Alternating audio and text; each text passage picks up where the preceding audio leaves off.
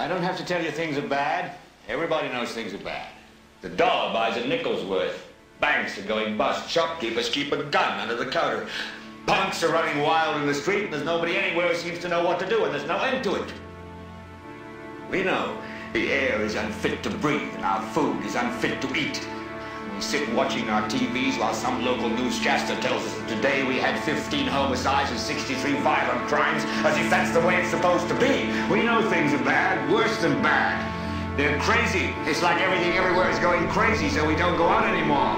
We sit in the house, and slowly the world we're living in is getting smaller, and all we say is, please, at least leave us alone in our living rooms. Let me have my toaster and my TV and my steel-belted radials, and I won't say anything. Just leave us alone. Well, I'm not good leave you. To get mad. I don't want you to protest. I don't want you to riot. I don't want you to write to your congressman